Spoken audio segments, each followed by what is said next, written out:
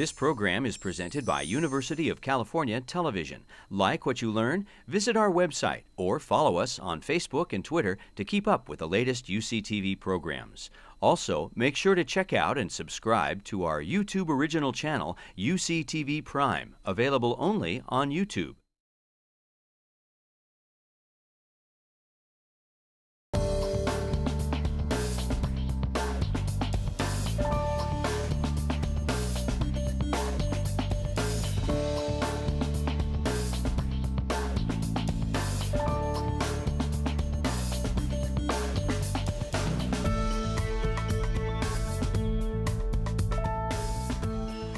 So what I'm going to do today is really start with something that I think is fairly basic and will something that will be uh, hopefully become more self-evident um, with really a few definitions.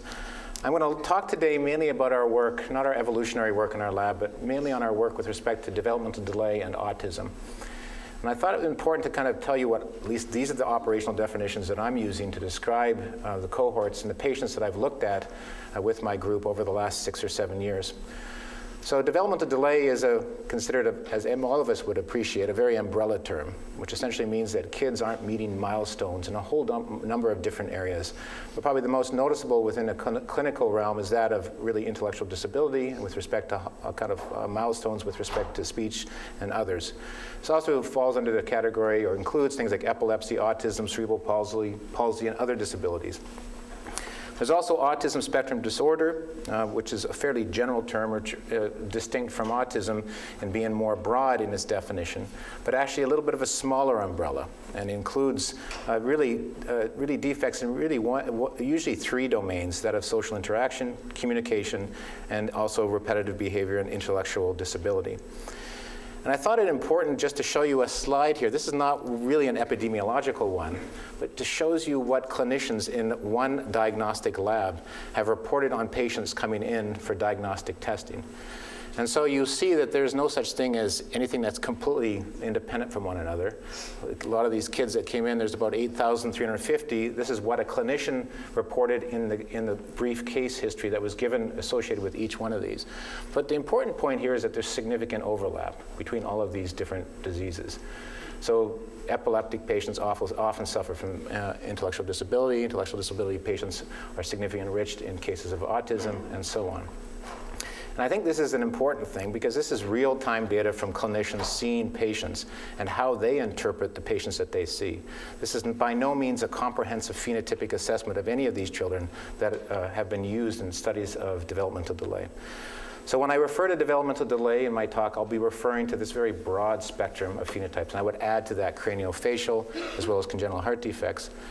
When I refer to the work that we've done on autism, specifically autism spectrum disorder, I'll be referring to the very specific ADIR, ADOS criteria that are used to define autism. And I'll distinguish them from really the large scale, scale study that we've done from really the targeted uh, sequencing-based studies that we've done on the latter. So I'm going to talk about the genetics of developmental delay and autism. I will not be talking about environmental influences. My background is in genetics, and this is the way I think about the disease. And a couple important points to get across initially. So the first is when we think about the genetics, geneticists, human geneticists for a long time have thought about really what we call simplex versus multiplex families. So simplex families simply refer to families where there's no history of autism in at least the recorded history of that family. So this would be an example of the mother and father unaffected with one child, in this case a male, affected with autism. Multiplex families refer to individuals where there's typically two or more affected. This is always a little bit complicated by the definition of what people are using to describe autism developmental delay. There may be comorbidities that are segregated in the family as well. But these are the families typically that are recognized, uh, both in developmental delay as well as uh, autism. So studies have come out suggested, I think, pretty convincingly that there is a strong genetic component 90% of identical twins versus 10% for siblings or fraternal twins. It's pretty clear there's a strong uh, male bias in terms of the disease. So males are more likely to suffer from both developmental delay and autism, somewhere between 2 to 4 to 1. And if we look at the broad category of developmental delay in our population, it's easily 1 out of every 50 births. So this is a huge impact in terms of health. And there have been a number of studies that have tried to estimate the rough, roughly genetic component, and these ranges range all the way from 55% up to about 90%. But I think it's pretty safe to say that there is a very strong genetic component to autism. I think that's unquestionable. So the question is, what is it, and how have we gone after it?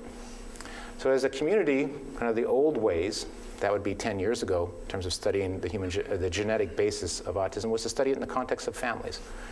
To find, identify individuals, typically multiplex families where multiple individuals were affected, with the idea that there would be a few mutations associated with autism and work out the mutations in each one of these families using a variety of different methods, particularly linkage analysis, to identify.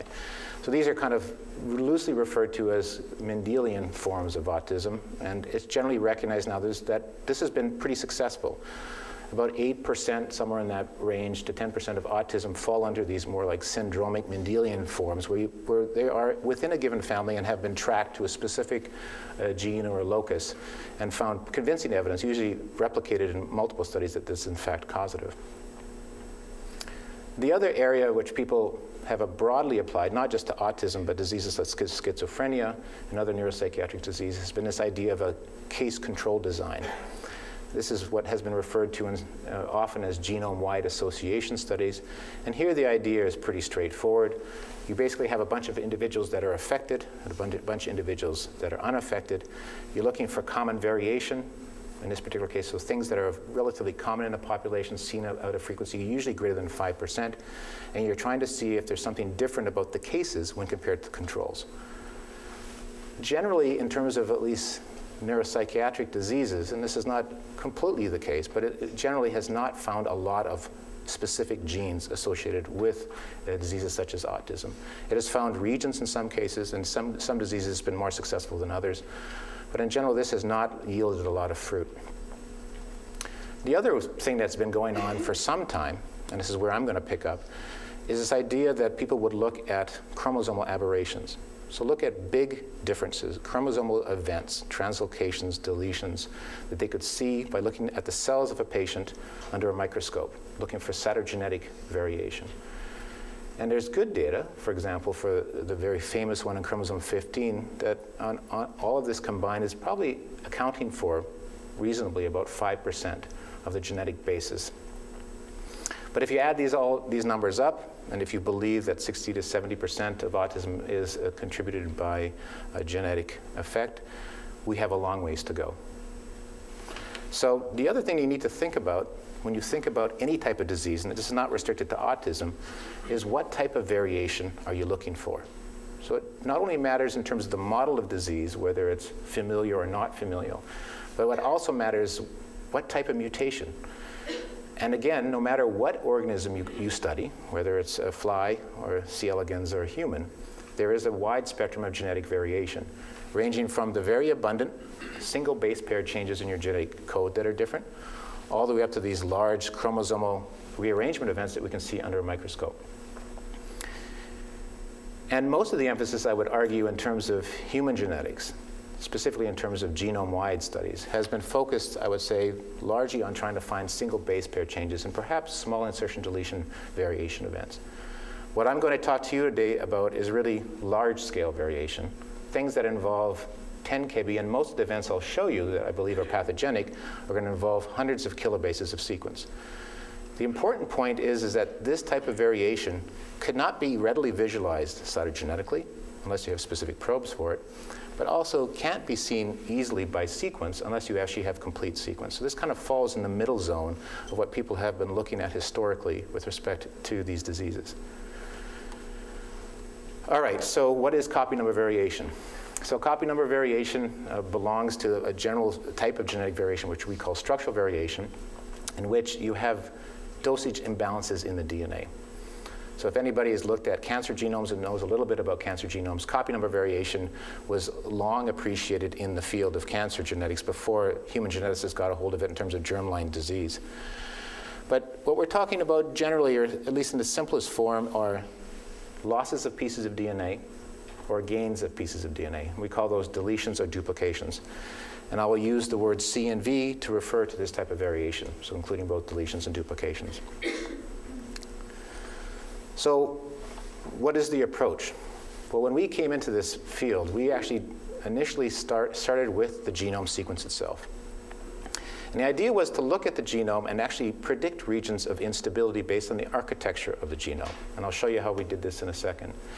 But the basic underlying hypothesis in our work was that intellectual disability and autism spectrum disorder may be created or caused by new mutations that are very young. That is to say, either they're not in the parents or in fact may have emerged in the, maybe the last generation or two. Big gains or losses of DNA that have occurred fairly recently that are found in children with developmental delay and autism, but not in normal individuals. So it's a fairly simple model. And when we decided to select what types of diseases we would go after, instead of focusing initially on a neuropsychiatric disease, what we thought we would do was screen as broadly as possible children with developmental delay who had gone through the, the testing in clinic of looking for, for example, rearrangements cytogenetically, so they're karyotypically normal. They were negative by Fragile X.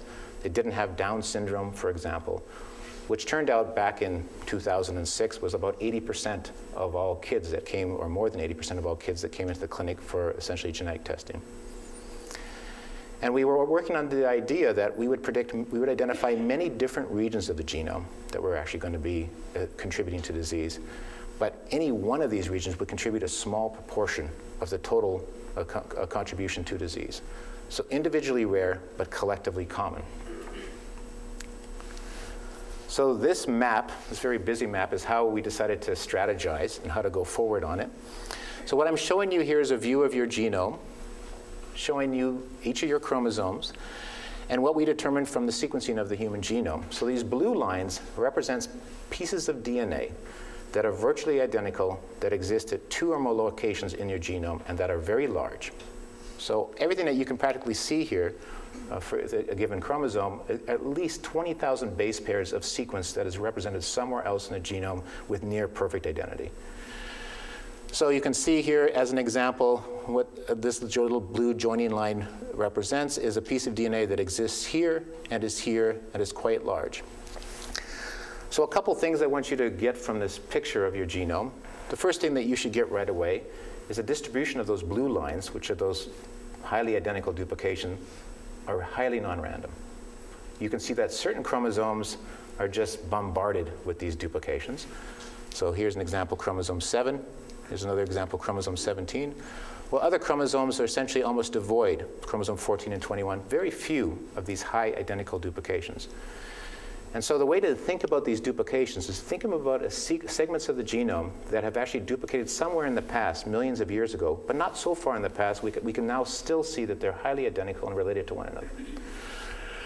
And so what you're looking at here is then a map of all those segmental duplications. And we knew from really studies that had been done really almost 75 years ago that when you have duplicated sequences that are perfectly identical, what they can do is they can actually trick the recombination machinery during meiosis such that a recombination event occurs where it shouldn't occur. So if you remember your kind of basic biology, your chromosomes from your mom and your dad when you're going to produce sperm or egg actually have to align and meiosis occurs. And as part of that process, there has to be a recombination event where it actually swaps out two of the chromosomes, one from your mom and one of your dad, breaks and reanneals and creates kind of a chimeric. And the way recombination works is it actually looks for sequence homology. So the way it knows to find your mom and your dad's chromosome and align them properly during meiosis is based on sequence identity. But there's a trouble. When you actually have duplicated sequences that are virtually identical, your, your alignment machinery doesn't know to distinguish allele or things that are between the chromosomes versus things that are within, and actually can misalign. And so back in 2002, we predicted 130 regions of the genome that were going to be unstable because of the historical evolution of duplicated sequences that were bracketing regions that were unique that were loaded with genes. And we predicted those regions would be hotspots. And we had good evidence that this was not a bad model because diseases like VCF, DiGeorge syndrome, Prader-Willi had already been documented. And in all these cases, the recurrence was mediated by the architecture of the genome, which was high identity duplications. And all of those were neurodevelopmental neurologic defects. So we discovered another 130 potential regions, and we set out to actually test them in patients with disease for which no genetic no diagnosis had been made. So this is just another simple way to show that. Here are your two, two of your four chromosomes misaligning during meiosis. So a recombination event is occurring where it shouldn't. So it's occurring between these duplicated sequences. Now you're creating gametes after two rounds of meiosis that either have additional copies of that duplicated sequence, or if you follow it through, have actually lost a copy of the duplicated sequence. But the important point here is that if your duplications are interspersed, that is to say, they're not, they're not, they're separated from one, one another by unique sequence. Everything that lives between these duplicated sequences gets taken along for the ride. And so now if you just follow this through, in addition to having an additional duplicated sequence, you also have acquired additional copies of genes A, B, and C. And in this particular case, you created a gamete that's lost genes A, B, and C. So this is a mechanism essentially for, dis for disease and for germline disease, specifically driven by the architecture of your genome. So all those 130 regions that we predicted back in 2002 had exactly this architecture. Had at least 50 kilobases of a unique sequence, flanked by duplications, and therefore prone to gain and loss because of the genomic architecture. So once we identified those regions, we had to identify cohorts. And this is what we've ultimately screened over six years. So we didn't screen all this in one year, just pointing out.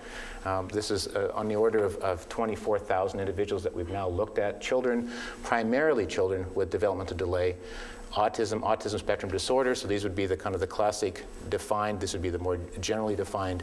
And then idiopathic adults with idiopathic generalized epilepsy even more recently. So to be absolutely clear what we're looking for, what we set out to find, is we set out to look for individuals with disease where parents were normal, and we would look to find evidence of deletions or duplications of a hotspot region flanked by duplicated sequence where the child had it and neither of the parents had it. And hopefully, if these occurred frequently enough, we would see evidence of more than this event occurring more than once. So we would ideally like to see is see children from different parts of the world, different areas, with the same event. And if everything worked to the way we, we hoped it would, those kids would even have similar features. And that would give us confidence that we've actually found a new syndrome mediated by this particular mechanism. So that was the strategy. We were a little bit naive about it in the beginning. I won't bore you with the details in terms of how we did it, other than to say that we borrowed technology from the cancer field developed uh, uh, by uh, Donna Albertson and Dan Pinkel called array comparative genomic hybridization, which was to look specifically at those regions, those 130 regions, and look for, for gains and losses in children with developmental delay. What I will show you is, this is the only really heavy data slide that I'll show you is an example of our first one. This is the first one that we identified in 2006. So just to orientate yourself, this is a chromosomal region. This is a region on chromosome 17. I'm showing you about a million base pairs of sequence. The, the, duplications that are creating all the problems are shown here by these bars.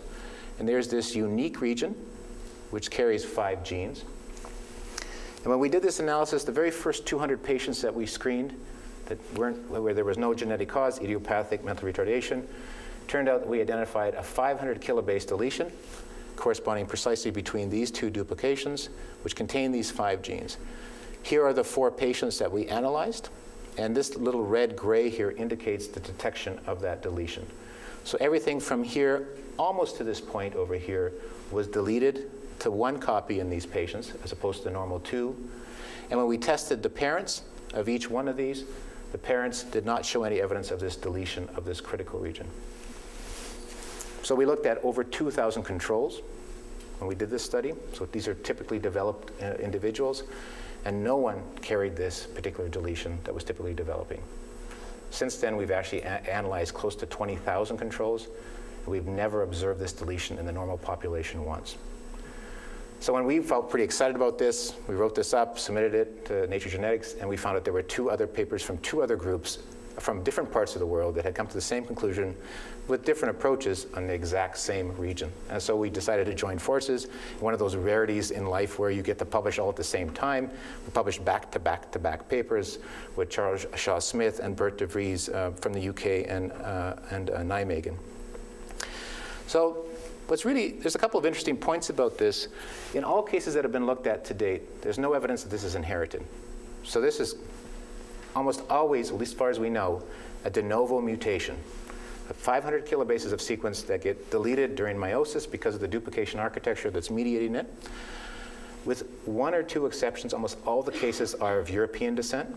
So, and we've actually, can, I can explain to you later if you're interested why that is. This, this is, turns out to be a form of sporadic mutation that's almost specific to individuals of European ancestry. I'll show you one exception to this. All the events, as I mentioned, were sporadic and the features were syndromic. So these are what the children look like. These are four children from different parts of the world. You'll notice the protruding tongue in most cases, the bulbous nose.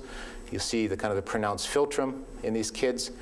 They've been reported pretty much in every clinical report where there's some description of the behavior. These kids are happy. They're happier than their unaffected siblings. They have a very positive disposition.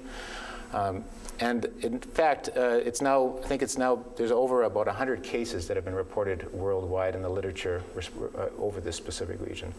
So this is a really nice example. And for us, the kind of the clearest evidence that this was in fact causative was going back to a clinician, a dysmorphologist, and asking her to refer to us any patients that looked like these 12 photos that we had. And she pulled out 10 individuals, sent the DNAs to us, and six of, was four of those 10, in fact, carried that microdeletion, suggesting that this is clearly as good as you get in terms of kind of human genetic sporadic mutation, as having a clinician go back. So this was a nice, clean example of a deletion recurrently deleted, explaining about somewhere between 0.3 to 0.4% of developmental delay in kids of European uh, descent. This wasn't the only locus we identified. So we identified essentially six new regions by screening on the order of about 1,000 to 2,000 children. This is another region. This one is actually incredibly rare, but it's in fact one of these syndromic forms once again. This is a different region of chromosome, this time chromosome 15, and it's a larger deletion of about three megabases, but once again has the same features. Duplications at the edge, which I'm not showing you here, and children that have very characteristic features. So almost all these kids have been described very kind of loosely as having autistic-like uh, features. They have problems with social interaction, repetitive behavior, but they also have features which you clearly can see, such as frontal bossing, uh, kind of the interior, high interior hairline, pronounced ears, wide spacing between the eyes. So this is another very rare less than 0.1. We think it's probably 0.05% of all cases that come in um, of, uh, that have this particular deletion, with additional features like joint laxity, loose connective tissue, and growth retardation when those patients were, went back to and re-examined. This is a third example. This is a deletion that turned out to be a little bit more vexing for us and a little bit more complicated. When we initially found this uh, deletion, um, we were kind of disappointed. We found it and we thought it had a wonderful candidate gene within the critical region. It was a nicotinamide acetylcholine receptor known as CHRNA7. And we, we looked at the individual patient, and the patient was essentially uh, had, uh, this is the index patient that we identified. And it, she had, in fact, had a fairly severe, and we, did, we, we checked many normals, and we did not see this deletion in normal individuals. But we were disappointed when we actually tested the parents because the parents were, in this case, both reported as normal. Uh, and in this case, this one had, have clearly inherited from the mom. So we kind of shelved this one and put this one aside, and we said, well, this is just some kind of rare variant that's not going to be relevant to disease. So meanwhile, we screened another 2,000 individuals, and we found two sporadic cases. These are these two young girls shown here to the right. There's almost no, at least that we couldn't see, or dysmorphologists couldn't see any kind of clear features that were common among them. All three individuals suffered very severe seizures in addition to having a developmental delay. So we went back to this kind of our initial index case, and we asked the clinician to go back to the individual family and reassess, in this case, both the mother and the father. It turned out that the mother was not normal. She had borderline uh, IQ, so she, was she had some impairment, but she had actually married twice. She had two children from two different marriages, and she had a second daughter born from a different marriage, which actually was more severely impaired and had actually segregated that particular deletion. She had a normal daughter from that second marriage, so she had a total of three daughters, and that daughter did not segregate the mutation. So after finding another three or four families and showing that this particular deletion could be both de novo and inherited, it's about 60% inherited and about 40% de novo, and not observing it in, in uh, control populations, we became convinced that this was at least a risk factor, if not causative, with respect to this disease. So there is really no syndrome here. This is very variable in its outcome. It, clearly, individuals can be high functioning. They can, uh, they can function in society. This, this, this lady had a job. Um, she never finished her high school uh, education, but she was not, would not be considered, she would not have been picked up by many different screens. What's interesting among many of the families that we saw segregating this mutation as well as the de novo case was in addition to seizures, there was extreme rage and aggression. So almost like the opposite of the 17q21 deletion syndrome. And I guess what really convinced us at the end of the day is when we really ramped things up and screened 22,000 cases of developmental delay and found 69 deletions and zero out of 8,328 controls, we became convinced that we had in fact found a pathogenic event. But this was just not fitting our nice model that we had in the beginning that it would be all de novo. So this was an eye-opener for us because it suggested to us that these mutations are going to be in the population segregating, probably not for many generations, but are going to be contributing significantly to disease. And we might not recognize it. Some of these diseases may be of a different spectrum, for example, epilepsy versus essentially developmental delay. So some of the individuals will be relatively high functioning. So what's the proof? Well, after we reported this initial, we were the first to report this microdeletion in 2008. A number of other groups came out and actually reported this microdeletion in a whole suite of different diseases.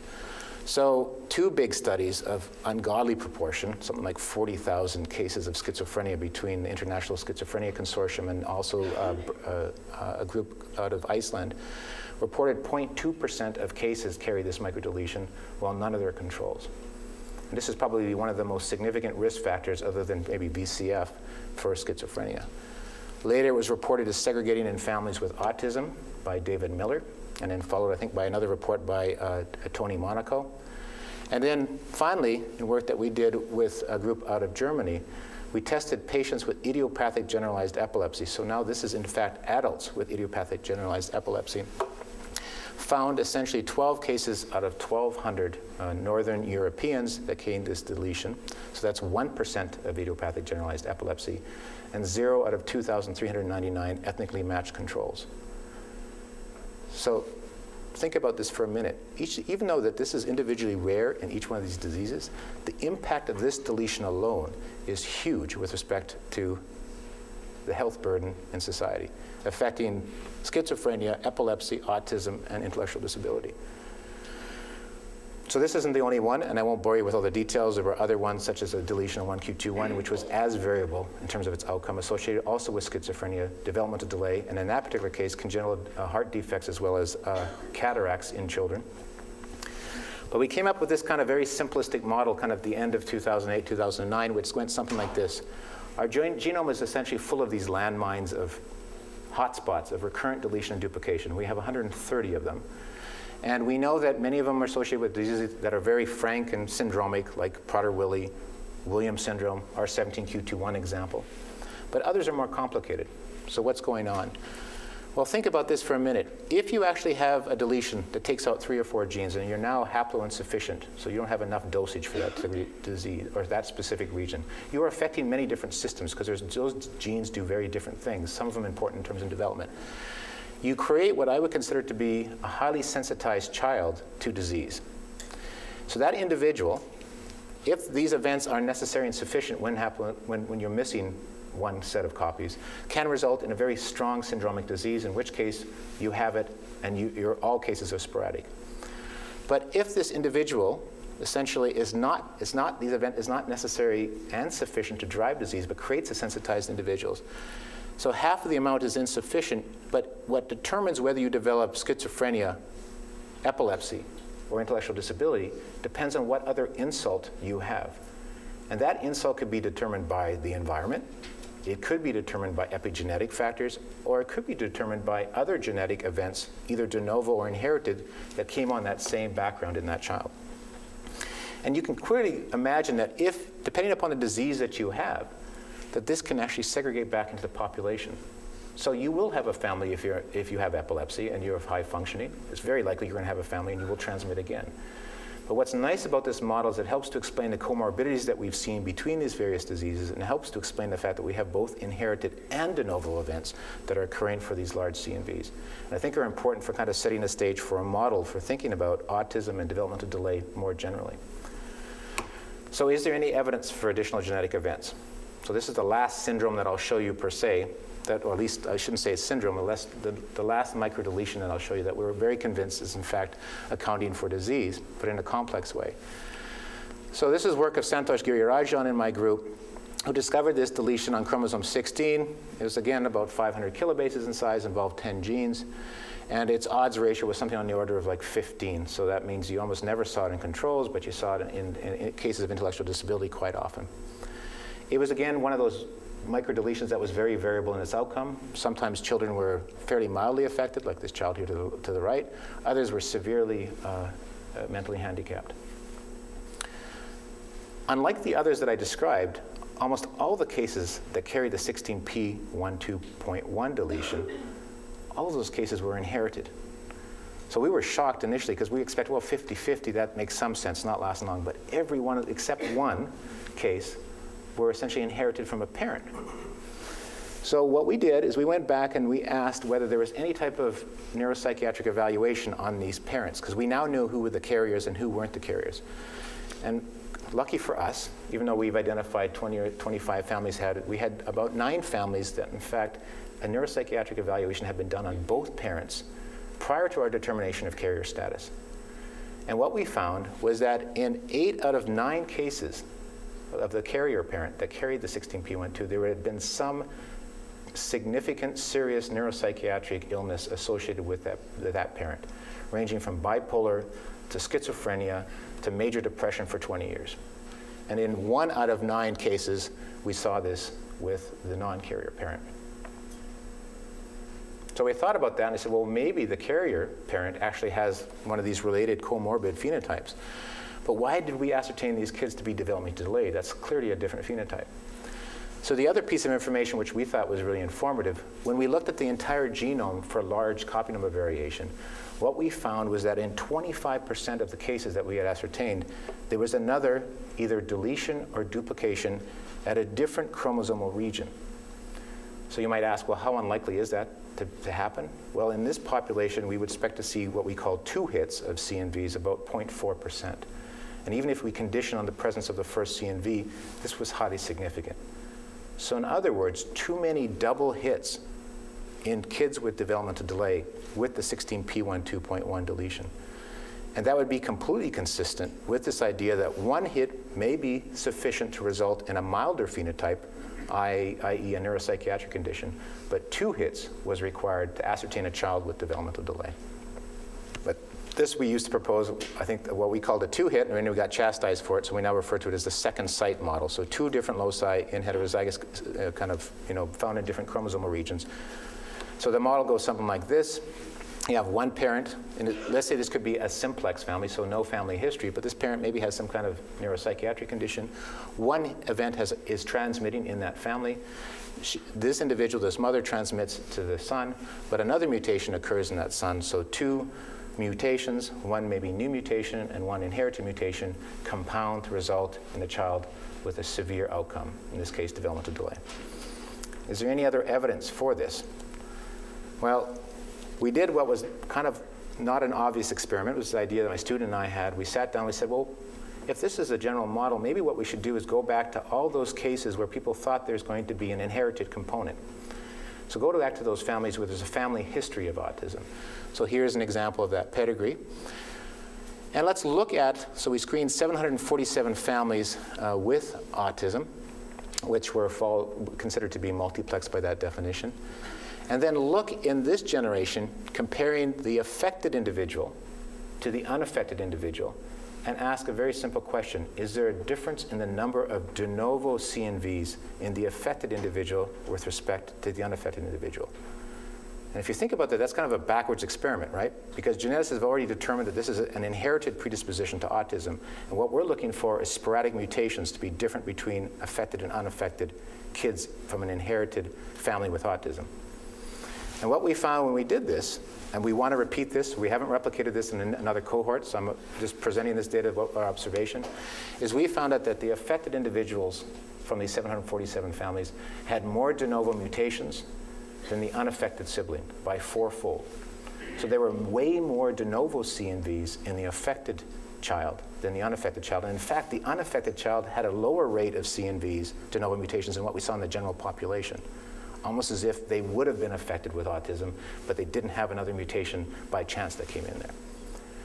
So this actually observation has really influenced, and an earlier observation from Santosh Girirajan has really influenced the way we think about modeling the genetics of autism and more broadly neuropsychiatric disease. All right, so again, this would be consistent, although not a proof, I want to emphasize, of a one plus one, uh, two mutations coming together to lead to autism. So in summary, we targeted regions flanked by segmental duplications. We termed them genomic hotspots. We identified six new recurrent microdeletions. Some were syndromic, like the 17q21. Some were essentially variable in terms of their outcome. But I'm pretty confident on the ones that I'm listing here, at least, that these are pathogenic. So you can determine whether you believe they're causative or not, but they're clearly, the odds ratios are very high for these particular ones. We have this distinction between syndromic CNVs versus variable expressive. Then we have this observation of, for at least the ones that are really inherited, having too many double hits, at least for the 16p12, uh, in uh, individuals with intellectual disability. So this is great, but here's some basic problems with CNV work. CNV work, essentially up to at least what we've done up to date, typically involves finding very big events. These events typically involve hundreds of kilobases, many different genes, not just one gene. So we don't know which, which are the genes. And remember, when I did this screen, I didn't do it genome-wide initially. I did it initially focusing on hotspot regions. So what goes on in the rest of the genome we know is important. But the problem with the rest of the genome, because it doesn't have this architecture of recurrence, there's no mechanism to mediate a recurrent deletion or duplication, most of the CNVs that you would see in a clinic that are large are going to be one-offs. You see them once, but you don't see them again in 2,000 patients because they just they occur so infrequently, but they're collectively quite common. So how can we solve these pr problems? So basically, how do we get to the genes, and how do we prove the rest of these CNVs as being pathogenic that are not in hotspot regions? So two different solutions. One is go just essentially employ essentially a genome-wide analysis, but in steroids. Start looking at tens of thousands of cases and tens of thousands of controls. So you will eventually begin to see events even in non-hotspot regions that are recurrent. And the second is, well, if you want to get at the genes, why don't you look for smaller events? So if there really is one gene in that region of five to 10 genes, you should find a disruptive mutation if you actually sequence all the genes in that region. And I'll share with you some, some data from both of these. So for the first side, we did this collaboration with Signature Genomics, which looks, looked at a total of 15,767 children with developmental delay that were referred to their lab uh, based on uh, di uh, diagnostic criteria, sometimes very loosely described as developmental delay. In about 48% or half the cases, there was more detailed information, such as whether there's epilepsy, autism spectrum, cardiovascular defect, or so on with these children. We compared them to 8,328 adults that have been used in other studies. So don't think of this as a, really a, a match control. Think of it as like a population average that we're comparing it against. These are individuals that weren't ascertained for mental health, but we usually were picked up in terms of genome-wide association studies for studies of lipid, concentration, blood pressure, asthma. Generally, diseases that we do not think, and we have good evidence, are not large CNV events. And let's compare the landscape of large and rare CNVs for basically events greater than 200 kilobases with the idea that we have way more power because we can detect in these controls much smaller events than we can do in these diagnostic arrays. And the important point here is that we reanalyze all the data ourselves. So we didn't trust any clinical lab, even though Signature does a great job. We wanted to do it all from first principles in terms of signal intensity data, including the SNP microarray data. We wanted to do all our own calls. And so this is what we published in the mid-summer uh, last year, essentially a comparison of overall CNV burden. So what you're looking at in this chart is two lines, one for cases with developmental delay, or largely intellectual disability, in red, and then our control line indicated here in black. And what's indicated here on this axis is the proportion of either patients or controls that had a CNV of a given size or greater. Okay? So if you use this magical mark that some clinical labs or diagnostic labs use of 500 kilobases of being potentially pathogenic, what you'll see is essentially 25% of children that come into the diagnostic referral lab will actually have a CNV 500 kilobases or greater, compared to about 8% of the general population. So this leads to a potential observation that about 14% of developmental delay may be explained by large CNV events, just based on that differential. It's different for different types of diseases, or at least different referrals. I shouldn't say diseases, because this is not detailed phenotype information. This is fairly, fairly loose. But it's interesting to see that things, for example, like craniofacial defects, which are some referrals, usually most of these are associated with developmental delay. Cardiovascular defects come up as the highest in terms of CNV burden. Well, diseases such as autism and epilepsy, while significant compared to the green line here, no question, are not as burdened by CNVs, although all of them are show an increase. This leads to kind of the general feeling that the larger the CNV, or let's say CNVs will be associated with more severe outcomes than essentially um, uh, for, than diseases that have less severe. So once you get all this data together, you can build on what we call a morbidity map. So what we're doing here is we're taking all the CNVs that we see in patients, and we're, we're basically creating a map. So everything above the line here rep represents affected individuals, blue indicating duplications, red indicating deletions, and everything below the line represent the controls, the adult controls. And you don't need statistics. You can just look at this map for a given chromosome. So this is chromosome 15 at the top, and you can see the landscape looks very different. There are certain regions that are just showing piles up. So for example, this region I'm showing here to the left, over here on chromosome 15 in the left corner here, this is Prader-Willi. 15q13 is the next one over, and you can see that in the controls it's essentially virtually absent. You can do this for every one of the chromosomes of our genome. And in fact, you can combine data, which we did with another lab, now increasing it to 30,000 cases and 10,000 controls. And the landscape of copy number variation associated with developmental delay becomes more and more transparent as you increase the numbers of cases and controls. So pretty amazing stuff, I think, because if we could combine diagnostic lab data from, let's say, 100,000 cases and compare them to 50,000, I think we would raise up another probably 50 loci that we would have statistical significant as being pathogenic, or at least potentially pathogenic in the human population. And what's really cool about these regions, so there's 59 CNV regions, there's 14 new regions that we identify that reach statistical significance, and underlying these regions, these 59 plus 14, are a total of 940 of the 20,000 human genes. It doesn't prove that any one of those individual genes is actually causative, but it says some subset of that 940 is important to actually consider. And then finally, what we've, what we've done, which I think is, to me, one of the most exciting things, is we've gone back to this two-hit model more generally. Because remember, we showed it for 16p12.1. We showed that there was an excess of doubletons, or two CNVs or more. And so with this kind of data, with this many cases indicated here in this case column, these are the number of cases from 20,000 uh, children that were referred with various deletions, including DiGeorge Williams 17q21. What we decided to do was essentially break them into two categories. Those that were variable in terms of their outcomes, so they could sometimes manifest as epilepsy, schizophrenia, developmental delay. These are shown here in gray. And I'm only showing you a subset of the 60 because this becomes uh, kind of totally unreadable if I showed you all of them. And then I show you on the top ones that are pretty much considered to be syndromic, maybe with the exception of DiGeorge, which is VCF, which is also variable. And what I'm plotting here are really two different numbers. From all the cases that we have, in this column here, so in the case of Smith-Magenis, 100% of these 25 were de novo, that is to say they weren't inherited. Well, here's at the very bottom is our 16p12 deletion, where essentially only 4% of the cases that we've identified were essentially de novo versus the proportion of second hits. So how many of these patients actually carried another large CNV greater than 500 kilobase in addition to the primary event somewhere else in the genome, either deletion or duplication? And that's shown here by the second hit. So you see this 0% to 21.9%. And so once again, here are the controls, conditioned and unconditioned. You can see there's a big difference with the things becoming significant right around the 16p11.2 deletion, where we start to see an excess of doubletons, or two, two CNVs or greater in these.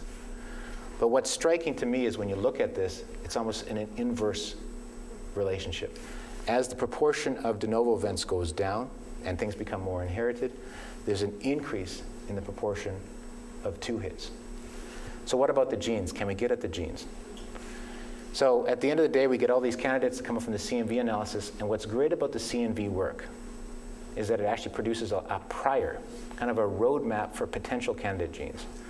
So depending on how we do this method is either 940 or 1300, somewhere in that range. And in some cases, we get lucky, and we're able to essentially refine the breakpoints.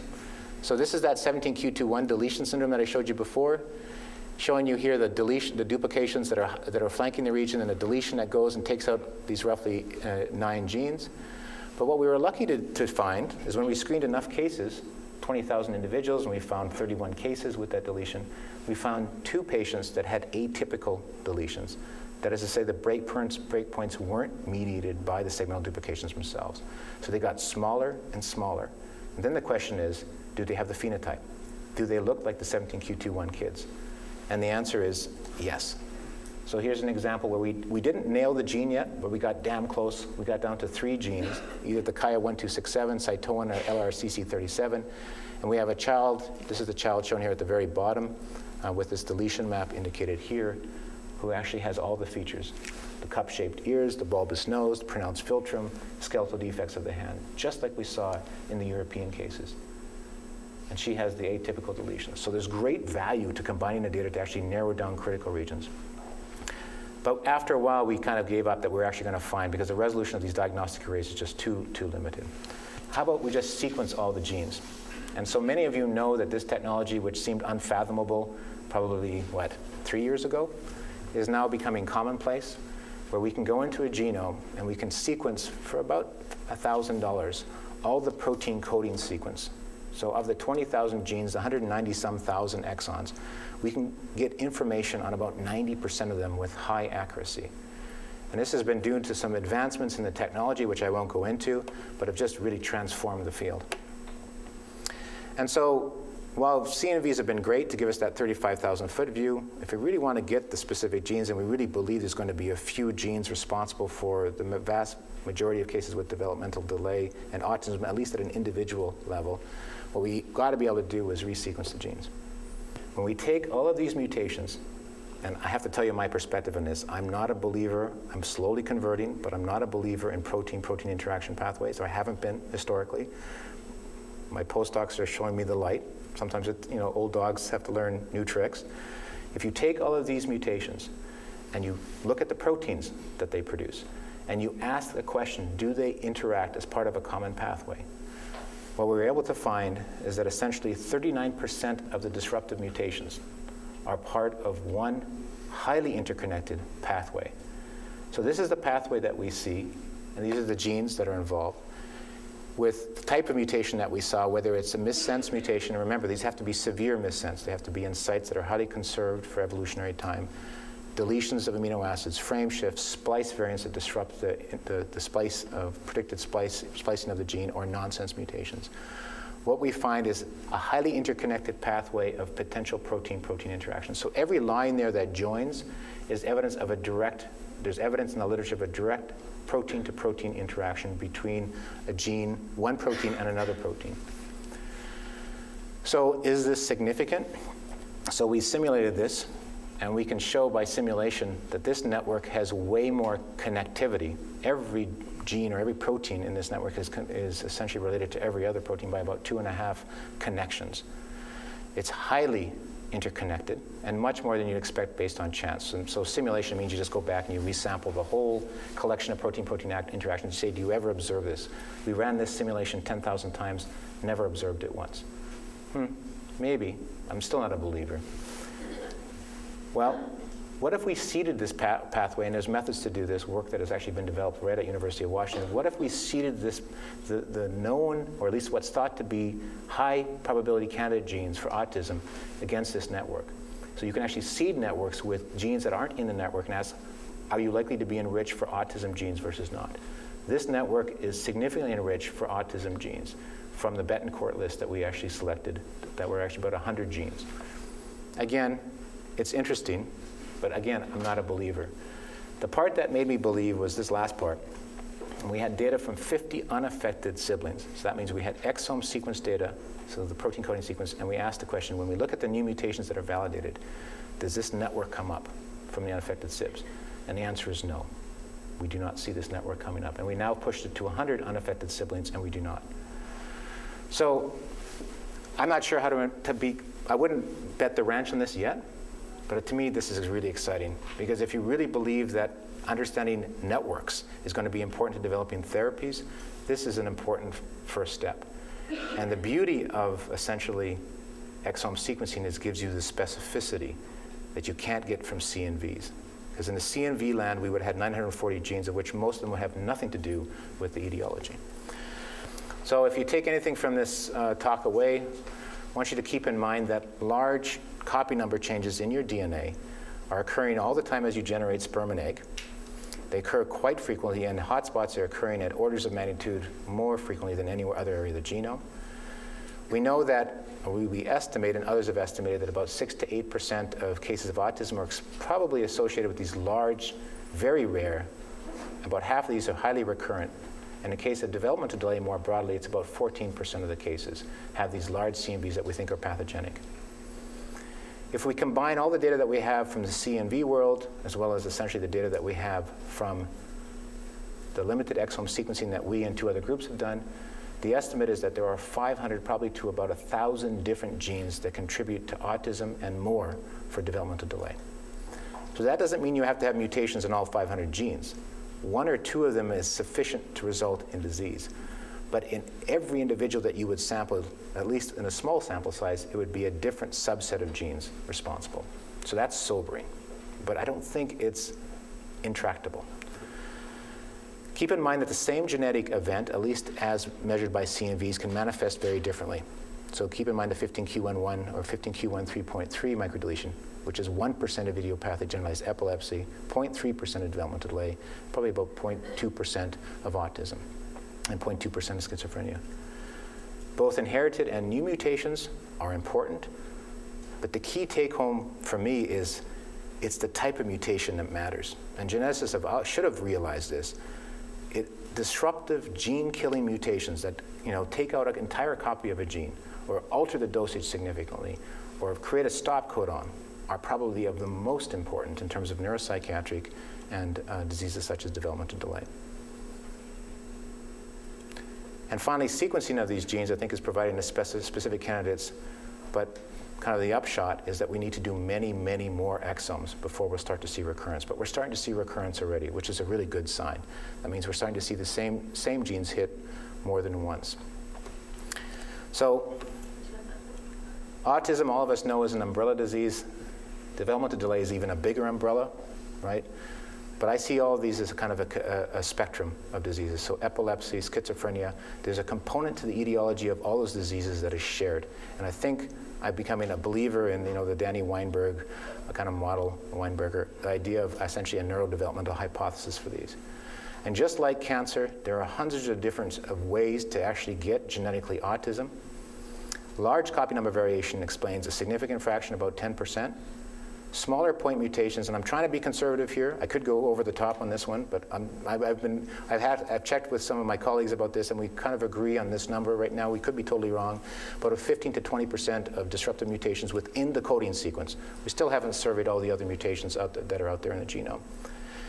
And I think all the data is pointing to us that essentially the brain, and maybe this is not a big revelation, the brain, and particularly during development, is highly sensitive to dosage imbalances. So where have we come? Well, in 2007, a small portion of the, of the pie of autism, I think, could be explained genetically, largely by large chromosomal events that were seen under a scope, such as the chromosome 15, large duplication, and then single gene syndromes, and not put into that category Fragile X, Rett syndrome, and their contributions to autism. We are at the precipice right now, and there's a big question mark over the exome because I don't want to put this in firm writing. I'm pretty confident in saying 10% of by large CNVs. We haven't begun to even survey the small CNVs, which I think will contribute easily another 10%. And I haven't put that up there, but I think the preliminary data suggests to us that it's not unreasonable to think that 15 to 20% of autism is caused by disruptive, either de novo or very young mutations uh, in individuals. That isn't bad progress, I think, for five years. And I think we're going to have at least for the genetics, the heritable component of autism, I think it's not unreasonable to assume that we will have 60% of it within the next couple of years. And the real power of this isn't from just a discovery, but it's for the molecular convergence that may come from essentially the pathways. So if there are 500 genes, that sounds insurmountable. But if those converge on 10 pathways, those are 10 pathways that can be targets for therapy. But I don't want you to leave you with the impression that therapy is around the corner. I think that's the biggest mistake that geneticists make. I think the most important thing that I've seen from the work we've done in the CNVs is that when we select from that great umbrella of developmental delay, and we can pinpoint the 0.3% that can carry the 15q1 3.3, or the 0.4% that have the 17q2131, what we immediately do, which I think most researchers don't appreciate, and maybe even some clinicians don't appreciate it, is that we actually create networks of families. When the 17q21 families get together, and they've had their first get-togethers over the last two years, for them it has been an illumination.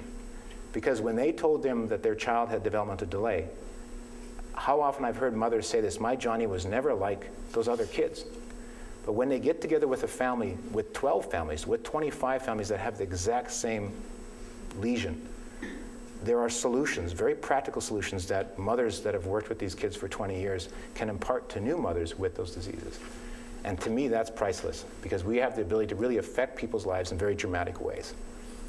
So yes, the therapies down the road are important. Be able to distinguish a fragile X from a Rett from a 17q21 is valuable because we'll know, we'll know which smart therapy should work. But I think there's a much more practical value right up front, which is the connections between the families. So I'll leave you with this last slide. This is our working, simplified model of autism. Many genes need to be expressed at, the, at many different times and places during development. brain development is in particular, probably at very specific stages during development, sensitive to gene expression differences. Many different genes and pathways, when compromised, probably in combination in some cases, and sometimes by solo, either by a copy number variant or a point mutation, can result in a child with autism. So this is the model that we're going forward on. And I think as, as we go into genomes and we comprehensively understand the copy number variation, and we comprehensively understand the point mutations and the inheritance of those mutations and their frequency in the general population, we're going to get better and better at diagnosis, pathogenicity, and really targets for therapies down the road. And I'll leave you with essentially the most important slide. These are the folks that did all the work. I'm the mouth, mouthpiece these days. Uh, particularly want to acknowledge Brad Coe, Santosh Girirajan, and Brian O'Roak. Brad and Santosh, with some help from now a, a, young assistant professor Greg Cooper, did most of the CNV morbidity map. Uh, Andy Sharp and Heather Mefford were the ones that discovered some of the, the, the hotspot regions associated with disease. Brian O'Roak did the exome sequencing. We couldn't do this without our great collaborators at University of Washington. Jay Shendure, for example, developed some of the exome sequencing technologies uh, in his own lab. And then we've had great clinical colleagues, remarkably, many of them from Europe. For some reason, the folks over there have been very open, and we've, even though they've been our former competitors, we've worked together for at least 10 years with uh, many of these groups. And then also Lisa Shaffer at Signature Genomics. Um, that was a great collaboration to really kind of expand the numbers. And then last but not least, um, really the patients and their families. Uh, we couldn't do this without families being willing to be reconsented to come back in for further study. And it's been actually really one of those surprising things for a researcher that comes from genome sequencing to be able to actually make really significant contributions at an individual level, not at the level of publishing in Nature or Science, but actually making a difference in the life of a family. All right, thanks.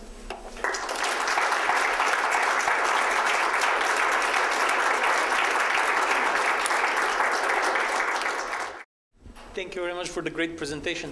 So you showed 6 to 8% burden of copy number variants among account for autism, but from clinical perspective, many of those look like contiguous gene syndromes. Mm -hmm. My question is, is the, the occurrence of copy number variant um, changes in idiopathic autism same or higher? These are children that have autism but no associated anomalies.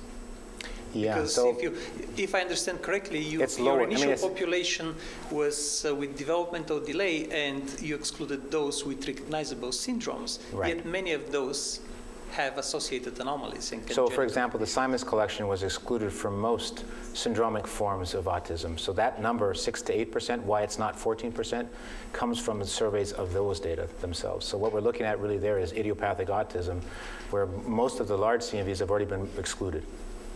So, and I think, so I think that number is still an underestimate, because remember, most of the surveys, including the ones that were recently published in Neuron, only went down to about 100 kilobases, 150 kilobases in size.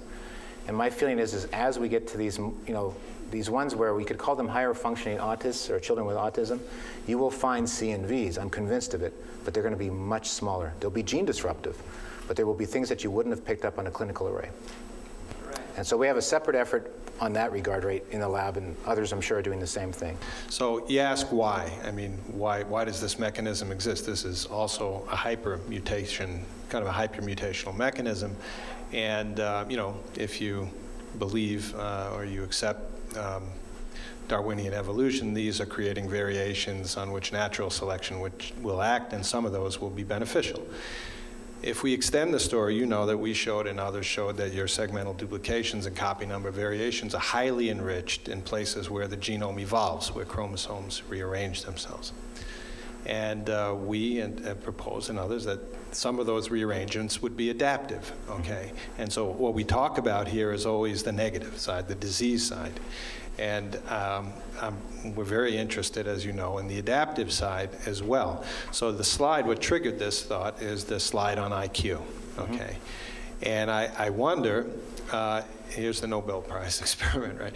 I don't know. But if you, if you took, um, you know, if you looked at the reverse, if you really looked at a high, I you know, took a stratified population by IQ, many of which have behavioral and developmental disorders at the high end. Uh, since these are the, really the seeds of our own evolution, many of the mutations are deleterious, many may be adaptive. If you stratified by IQ, would you see CNVs um, segregating or so, at least so identified at the high IQ? So we've done this experiment, and it's not the best way we did. I can tell you what we did. So it took forever to get this through IRB. So it was a pain in the butt to get this approved. But we finally got it approved, and we looked at, uh, it was 200 individuals from Mensa. And we looked for an increase or some difference with respect to the general population. We saw nothing at the level of 200 kb. But, but let me turn it around another way because th this is the, the other talk which I didn't give today, which is the benefit of actually having this duplication architecture. So it turns out that when we've done, we've been tried to be as exhaustive as we could on this, and we tried to do this with experiments as well. We've surveyed about 14 different mammalian lineages, of which six of them are primate, for essentially this pattern. So remember, the important thing here isn't just the presence of duplication, but it's the fact that they're duplications that are interspersed, that are separated from each other by large distances. And what we found is that this is not an anomaly, but it's significantly enriched in the great ape human lineage. So when you go back, great apes and humans, so you see lots of interspersed intrachromosomal. And we actually published several papers on this, and we published one in Nature recently that showed that there is an excess, a burst, if you will, right in the common ancestor of human, chimp, and gorilla. And then it subsided. And so why? Well, it turns out if you actually look at the duplicated sequence, it isn't just generic sequence. It is extremely gene-rich sequence and encodes preferentially genes, at least the parent genes, that are involved in neurodevelopment. And this is, we've done it, we've tested, there's a paper that just came out from another group that shows that these new genes, and we call them kind of new innovations, potential new genes, are actually very highly expressed early in development. And so in data that I don't, didn't have time to go into, we've actually been tracking with some neuroscience groups, um, specifically these newly minted genes, specifically ones that have evolved specifically as a result of this duplication, which creates disease. And we have some pretty strong evidence that these genes are important in terms of actually neuronal migration, as well as, in fact, setting up dendrites and, and spine formation in the human brain. If this is true, and I, again, we pref preface this, we just, it's just early stages, there's a yin for the yang here. Those duplications which are causing disease in our children are, may also be important for specifying some of the adaptations that make us human but that's a limb statement. I'm on a big limb and there's a big saw behind me. But yeah. essentially, we've been thinking about this idea for at least 12 years with some of the first papers we published on this. Yeah. There's just too much evolutionary action. Not even at the, not at just the structural level in terms of chromosomal rearrangements during chromosomal evolution, but in terms of innovation of new genes. It's just not, it's not it's not, does not follow just simple chance events. There's strong evidence from an evolutionary perspective of selection operating on this. Yes. And all we need now is functional proof. Do you think the segmental duplications have a structural role in the genome and um, in the three-dimensional architecture cell? Yeah, no, we thought about this, but we have, we have no evidence for it. So one idea may be that somehow the duplications themselves communicate somewhat in the genome, like um, by proximity. And the reason I say that is that we know that some of the regions that are rich in segmental dupl- duplications, which include regions around acrocentric regions and areas that have been sites of historical exchange, actually can be seen to form you know, nucleoli and other types of things. So the cause or consequences thing there is a difficult thing to imagine. The other ideas that some people have thrown around is perhaps the duplicated sequences are regulated differently. Maybe they form their own kind of chromatin. Um, but again, we don't have any evidence for that. Someone might, but we don't at this point. I have a few questions, um, so I'll just throw them all out. Uh, one of them was uh, very early on, you talked about, I think it was the 17q11 that was mostly in North Amer- uh, Northern European populations. I- I- How large were the non European populations that you looked at, and So we've done- that part of it? So we've done some targeted screening of about 3,000 African Americans for that particular deletion. And, you know, in a, you know, remember those first 200 that we screened, we found four cases, and we have not seen the event. The one that I showed you here came just, you know, the one that was atypical, that narrowed down the critical region, that one came from the large uh, uh, 15,000 from Signature. And was, we, was a surprise to us. In fact, both of those atypicals were African American. The, the reason, so I was hoping someone would ask me this, the reason that Europeans are predisposed, and this comes back to the, your question actually, that some of you may or may not know that this region of the genome is also a site of a common inversion polymorphism. So in about 25% of the, of the Europeans, of people of European descent, this region is, the order of the genes is flipped around. Okay, so you say, well, that's weird. Yeah, it is weird. You don't see it very often. You don't see it at that frequency. And you don't see it outside of Europe, practically. It's almost non-existent in every other population, including Asians and Polynesians and other types of things. But what's remarkable is the reason that Europeans are predisposed is that on that haplotype, which has that inverted inversion structure, new duplications have evolved. And those duplications are now in a direct orientation, so they face like this. And in every other human population, they have duplications, but they look like this. And so you can't do unequal Croson if your things aren't in a direct orientation. So that's kind of one of the rules. So in Europeans, we created this new architecture, which has the duplications like this, flips the region, creates duplications now in direct orientation, and now predisposes Europeans to microdeletion. So we just recently submitted a paper, which is you know second round, where we show that the breakpoints actually occur in those European-specific direct duplications. And coming back to the adaptation, the data from another group, Kari Stefansson, suggests that individuals, at least in Iceland, that carry the inversion tend to have higher fertility and fecundity than individuals without uh, the inversion. And so, yeah, take what you will from that, but that would be an example of an adaptation, nothing to do with IQ, but something that was selectively beneficial for some reason in Northern European populations. But the consequence is we have children that have developmental delay because of the new architecture that has evolved. So, and my other question is on a totally different question, which is that um, this is sort of my ignorance. Do the sporadic um, de novo, non-inherited um, mutations, uh, or CNVs or what have you, do they arise during meiosis or at the time of conception? Well, so the thought is that most of them occur during meiosis, and we have some evidence because we can distinguish between meiotic 1 and meiotic 2 by tracking essentially the recombination events themselves, whether it's occurred on sister chromatids or homologous chromosomes. So there's ways of doing that. But there is some data that's been, I mean, there's, there's no reason to presume that at least those cases that are meiosis 2, which wouldn't actually show any flanking exchange, that it couldn't be somatic events that are occurring very early during conception. And there's some work done by a couple groups that have shown identical twins don't necessarily have identical CNV patterns.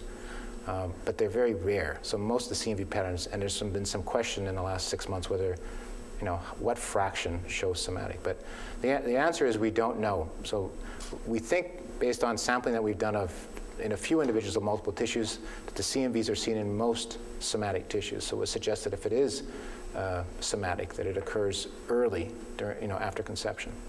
And clearly, when you have the recombination of flanking markers, that's got to be, I think the only way that could be is by meiosis 1. So if it's, so that would suggest that events for males and events for females would be, we'd want to look at very different um, Well, only in a case, yeah, I I guess. I mean, males, I mean, events can occur on autosomes bet- equally likely between males and females. It depend, well, yes, okay. So, I mean, the, the, w- maybe related to this, that there's another group that's looked at this question. So the question is, is there a paternal-maternal bias for CNV formation? And the answer is always a little bit more complicated. For the hotspots, the answer is no. It occurs in both males and females about the same frequency. For the sporadic cases, for, uh, it's not sporadic, but the ones that are not mediated by hotspots, let's say across the genome, which is about 60% of all large CNVs that are not mediated by hotspot sequences, those ones show a paternal bias, suggesting replication is playing an important role for non-recombination-based mechanisms of recurrence or a mutation. I've, I've got a really short question, it's very naive. So a, a lot of this uh, transmission work for determining whether you have a de novo or a, uh, inherited, whether it's paternal or maternal, looks at somatic cells, basically blood DNA. Absolutely. Has anybody gone in to look at sperm DNA or? Yes, not our do you- group. So Matt Hurles did some of this work early on, looking at three loci that were known genomic disorders and looking at sperm DNA. And the interesting thing is a paper published in Nature Genetics about four years ago is the rates that he estimated were very close to what the kind of the new mutation estimates were based on observation, which I always thought was a bit unusual because I expect under ascertained samples. For example, I expect VCF to be more common, just that not all cases are observed. But his data, he looked at three and they were pretty close to what the predicted mutation rate would be in sperm. So he didn't look at eggs. That was an impossible experiment to do. Is there, is there a correlation between the paternal age and the occurrence of mutation? You showed that 75% of the mutations by exome sequencing come from the um, spermogenesis, and now you just mentioned that uh, these CNVs, which are not mediated by recombinant, by uh, homologous recombinations, also occur more um, on the paternal line. Is there correlation with paternal as in achondroplasia and some other skeletal disorders? So for the SNPs, absolutely yes. So there's a, there's a nice R squared, I can't remember what it is, but it's pretty strong. So older dads, more new, they would tend to have more new uh, mutations. For CNV, it's a trend right now. The numbers aren't big enough. So you can't say it's a significant, but there is a trend. So I think old dads have a lot to explain for because they, they really are contributing disproportionately to new mutations, both from CNV and from um, um, uh, point mutation. That's what I tell the students after I tell them that. But I, when I give this lecture, when I teach the, uh, the graduate students, I always start with Down syndrome, and then I show that maternal age effect. And all the, all the girls or women in the group are all like, oh, crap. And I said, well, I said, well, men, you have your own clock. Let me show you your clock. Um, this is sort of the 80 pound gorilla in the room. Does copy number burden uh, predispose or make individuals more susceptible to environmental modifiers? Yeah, I, th I think that's a reasonable uh, hypothesis because we now know we have collections of CNVs that are clearly high odds ratios, right? So they're, if they're not pathogenic, they're at least very strong risk factors. But we know that they're not, they're not by themselves sufficient to drive the disease, right? Because they're inherited from normal, quote unquote, parents who may have a comorbid, comorbidity. Um, so I think another way to think about this is, you know, I, 25% of the 16p12s have another large CNV. What explains the other 75%? And, I, and when we typically draw the model, we include essentially other mutations that we haven't ascertained, which I think is very likely, environmental insults, and even stochastic differences during development, which I think is probably also equally likely. When you implant, how fast you grow, whether you have competition, I think those could be reasonable things. Tracking that will be tough, but I, I think a good way to do it is actually to ascertain the most variable CNVs, because those are like the sensitized background, and then to see what other mitigating uh, features have gone on uh, in their family history, exposures, what have you. The UC Davis Mind Institute was created in 1998 with a promise to find cures for neurodevelopmental disorders. Every day, our physicians and researchers come closer to fulfilling that promise. Their groundbreaking research on autism, Fragile X syndrome, chromosome 22q11.2 deletion syndrome, ADHD, and other brain disorders are helping children achieve their fullest potential. Please visit our website to find out more about current studies, upcoming events, and how you can help make a difference.